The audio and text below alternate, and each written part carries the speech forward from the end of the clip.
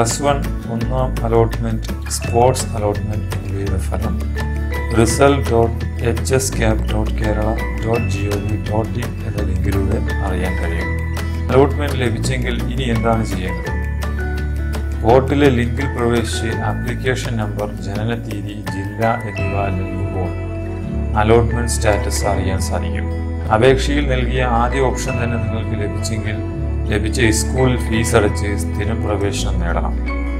ഒന്നാം ഓപ്ഷൻ തന്നെ ലഭിക്കാത്തവർക്ക് ഇഷ്ടാനുസരണം താൽക്കാലിക പ്രവേശനമോ ലഭിച്ച ഓപ്ഷനിൽ ഫീസ് അടച്ച് സ്ഥിര പ്രവേശനമോ നേടാൻ കഴിയും. താൽക്കാലിക പ്രവേശനത്തിന് ഫീസ് അടയ്ക്കേണ്ടതില്ല.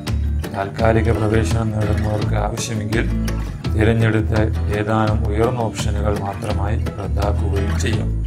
ആദ്യ അലോട്ട്മെന്റ് ലഭിച്ചവർക്ക് മെയ് ഇരുപത്തിനാല് മുതൽ ഇരുപത്തിയേഴ് വൈകിട്ട് നാല് വരെ അലോട്ട്മെന്റ് ലഭിച്ച സ്കൂളിൽ പ്രവേശനം നേടാം. അഡ്മിഷൻ പോർട്ടലിൽ നിന്ന് ലഭിക്കുന്ന രണ്ട് പേജുള്ള അലോട്ട്മെന്റ് സ്ലിപ്പ് അപേക്ഷയിൽ അവകാശപ്പെട്ട രേഖയുടെ എല്ലാം അസൽ പത്താം ക്ലാസ് സർട്ടിഫിക്കറ്റ്. സർട്ടിഫിക്കറ്റ് കിട്ടാത്തവർ ഓൺലൈനിൽ നിന്ന് ലഭിക്കുന്ന മാർക്ക് ലിസ്റ്റ് നൽകിയാലും മതിയാവും.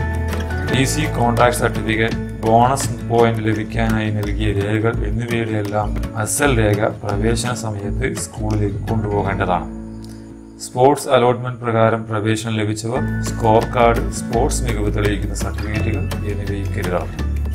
അലോട്ട്മെന്റിൽ ഇഷ്ടപ്പെട്ട ഓപ്ഷൻ ലഭിച്ചില്ലെങ്കിൽ ആ സ്കൂളിൽ പിന്നെ പോയി അഡ്മിഷൻ എടുക്കണോ എന്ന ചോദ്യത്തിന് വേണം എന്നാണ് ഉത്തരം.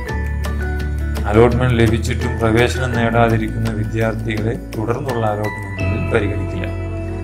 അലോ അലോട്ട്മെന്റ് ലഭിച്ചാൽ നിർബന്ധമായും പ്രവേശനം നേടണം. ഇഷ്ടപ്പെട്ട ഓപ്ഷൻ ലഭിച്ചില്ല എങ്കിൽ താൽക്കാലിക പ്രവേശനം നേടി രണ്ടാം അലോട്ട്മെന്റിലെ പ്രവേശന സാധ്യതയ്ക്കായി കാത്തിരിക്കാം. ഇനി അലോട്ട്മെന്റ് ലഭിച്ചില്ലെങ്കിൽ എന്താണ് ചെയ്യേണ്ടത്? ആദ്യ അലോട്ട്മെന്റ് ലഭിക്കാത്തവർ മെയ് മുപ്പതിന് പ്രസിദ്ധീകരിക്കുന്ന രണ്ടാം അലോട്ട്മെന്റിലെ പ്രവേശന സാധ്യതയ്ക്കായി കാത്തിരിക്കുകയാണ് ചെയ്യുന്നത്.